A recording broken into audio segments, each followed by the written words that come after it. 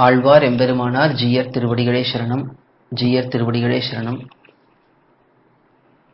Sri Bhagavad Gita 14th chapter Gunatraya Vibhaga Yogam In this chapter Bhagavan is explaining about the three qualities Sattvam, Rajas, Tamas their nature what are the outcome of the three qualities and how one crosses over the three qualities. We have seen up to the 23rd shlokam. Now we have to resume from 24th shlokam. Bhagavad ramanuja has given beautiful commentary in sanskritam for sri bhagavad gita named gita bhashyam. Vedanta charya has given tatparya chandrika which is a beautiful sanskritam commentary for bhagavad gita with the help of these two wonderful Vyakyanams. Puttur Sri Uve Krishnaswamy Iyengar has given an elaborate Tamil commentary for Bhagavad Gita. In that, he has given word by word meanings for each shlokam. We have translated that into English. With the help of this English translation, we are going through simple meanings for Bhagavad Gita shlokams. Let us resume from 24th shlokam This 24th shlokam is a continuation of 23rd shlokam. 21st shlokam, uh, Arjuna asked the question, how do I identify a person who has overcome the three qualities? And for that Bhagavan is answering in the subsequent shlok shlokams. This is 24th shlokam. Samadukka sukaswastaha samaloshtasma kanchanaha tulya priya priyo dhiraha tulya nindatma samstutihi. Previously, in the 23rd shlokam, Bhagavan explained that one who has crossed over the three qualities will remain unconcerned about the outcome of the three qualities. Anything which happens in this world, he understands them to be a result of the combination of the three qualities and hence he does not respond to that. Now he is explaining further about that principle in these two slokams, 24th and 25th slokam, they are again recited together so let us see the word by word meanings for 24th shlokam. Sama dukkha sukhaha. One who considers grief and joy equally. Swastaha. One who is engaged in the soul, self only. Sama loshtashma kanchanaha. One who considers a block of soil, stone or gold equally. Tulya priya apriyaha. One who considers desirable and undesirable aspects equally. Dhiraha, who is able to distinguish between body and soul. Tulya Nindatma Samstutihi, who considers blame and praise equally. It will be continued in the next shlokam. So here the main aspect is difference between body and soul. Dhiraha means one who is able to distinguish between body and soul. If one is able to do that, then one will relate to all other aspects clearly because they all relate to body only whether it is joy or grief whether it is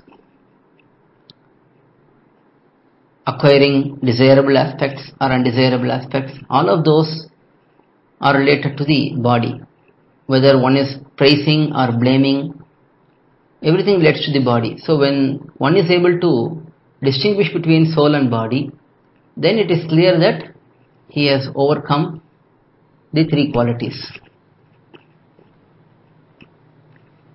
Let us see the 25th shlokam also, we will have a better context there. Manavamanayos tulyaha tulyo mitrari सर्वारंभ परित्यागी गुणातीत स उच्यते। Such person is set to be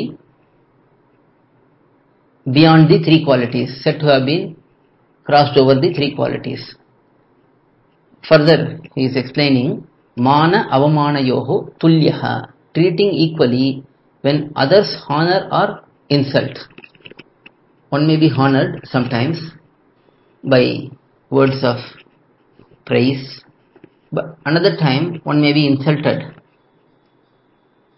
Mitra Ari Pakshayoho Tulyaha, treating equally friends and foes.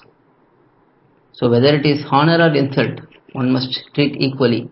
Whether it is friends or foes, one must treat equally. Sarva Aramba Parityagi, giving up all activities which lead to bodily bondage.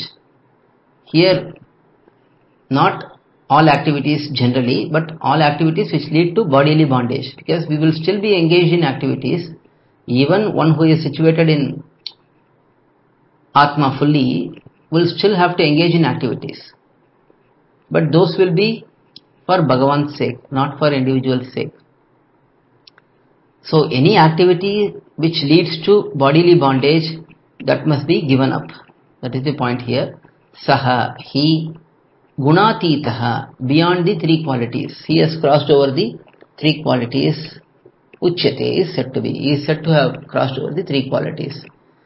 So, when one has crossed over these three qualities, sattvam, rajas, tamas, because all three are part of this world, material world, sattvam leads to worldly joy, rajas leads to more action, tamas leads to ignorance and bewilderment and so on. So all three need to be overcome and that is when one has crossed over then one's conduct will reflect that. One will naturally be disinterested in any of the worldly activities. He will have he will take no praise or blame, he will not consider them, he will not consider any joy or sorrow as special. One need not become joyful on getting desirable aspects and sorrowful on getting undesirable aspects. So one will be over those phases when one is situated in the stage of Shuddha Sattvam. So that is explained in this uh, these two shlokams. Next, 26th shlokam, Bhagavan explains about Bhakti Yoga.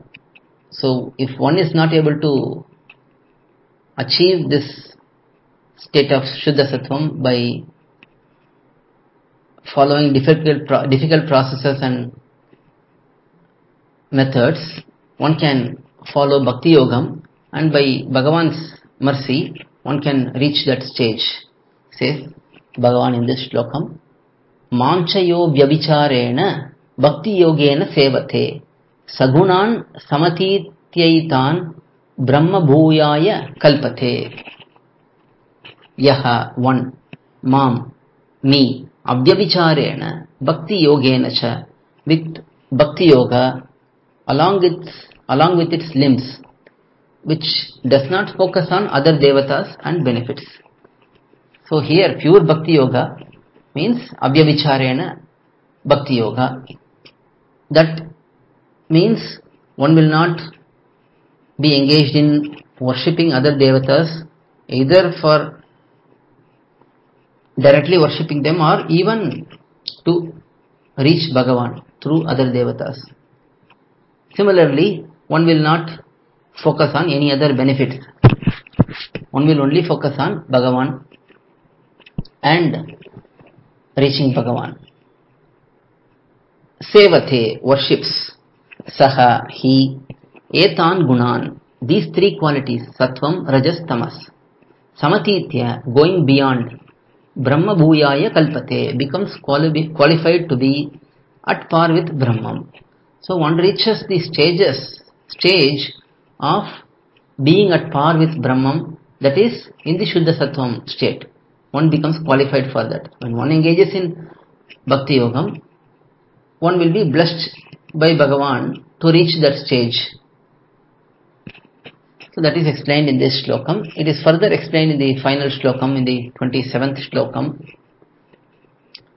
ब्रह्मणो हि प्रतिष्ठाहम् अमृतस्य अव्ययस्य च शाश्वतस्य च धर्मस्य सुखस्यैकान्तिकस्य च he. This is because now why is engaging in bhakti yogam beneficial? That is explained here. The true bhakti yogam towards bhagavan. That is explained here. He. This is because aham i am amritasya immortal avyayasya cha imperishable Brahman Brahman for self realisation so here Brahman means realising the self प्रतिष्ठा means शाश्वत धर्म से च प्रतिष्ठा. Also I am the means for the eternal dharma. So here the first part is for realising the self Bhagavan is the means for self realization that is kaivalya nishtai kaivalya state and then shashvatasya dharmasya cha pratishtha. Also i am the means for the eternal dharmam that is bhakti yogam which leads to great opulence. So for those who are engaged in bhakti yogam in this world even here they get opulence. That is also granted by bhagavan only. Bhagavan is the means for that. And finally aikantikasya sukasya cha pratishtha and i am the means for the bliss attained by a jnani. Jnani is the one who is fully determined that bhagavan is the upayam and upayam. And for him the ultimate bliss is by serving bhagavan in vaikuntham in paramapadam. That is also granted by bhagavan himself. So bhagavan says in this shlokam that i am the one who is granting whether it is aishwaryam worldly pleasure kaivalyam enjoying the self being fully situated in the atma or reaching bhagavan and fully serving him and enjoying him. So all three are granted by bhagavan. Hence bhakti yogena abhyavicharena that pure bhakti yogam will free one from that stage of um, being bound in the three qualities and will facilitate the individual to overcome the three qualities and be situated in the Shuddha Sattvam, says Bhagavan in this uh, shlokam.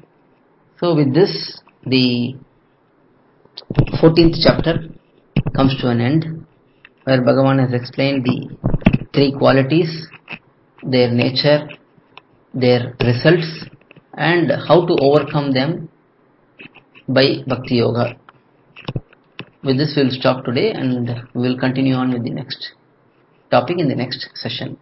Alvar எம்பெருமானார் ஜீயர் திருவடிகளே சரணம் ஜீயர் திருவடிகளே சரணம் To learn such valuable information about our Sri Vaishnava Sampradaya, please download Koyil K-O-Y-I-L app from Google Play Store or Apple App Store.